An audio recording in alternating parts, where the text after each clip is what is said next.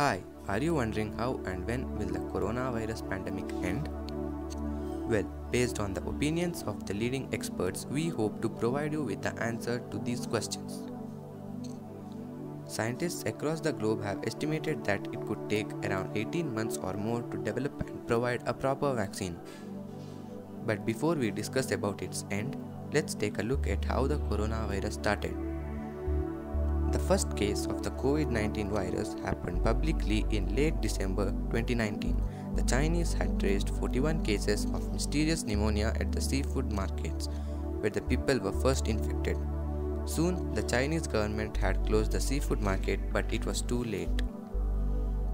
By the 11th of January, China reported the first death due to COVID 19. The COVID 19 had already been exported to the rest of the world by January 21, 2020.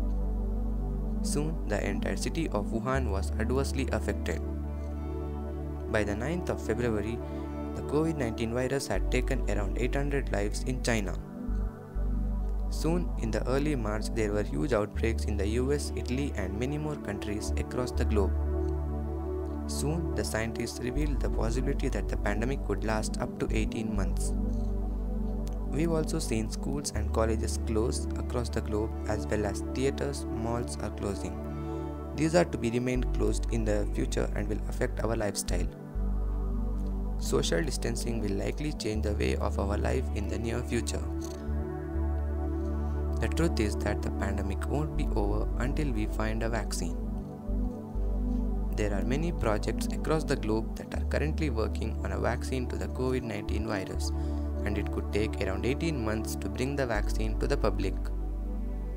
If you are wondering why does it take so long to prepare a vaccine, then we have the answer to that.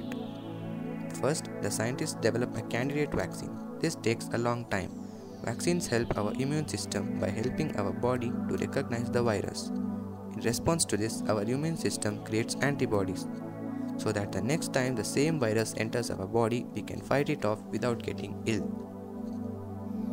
It's actually a simple idea, but the process involved in creating a vaccine takes a very long time. Once we get a candidate vaccine, it must go through extensive tests before it's used on us. The vaccine is usually tested on animals such as mice and rabbits. After this comes the human trials. This also takes a long time. Then the vaccines are manufactured, stored, and is used to cure the virus. But this process is likely to take a long time, and we are not likely to see a vaccine before 2021. So, until a successful vaccine is found, we must continue practicing social distancing, which is the only vaccine we have with us right now. Life probably isn't going back to normal for around a year or more.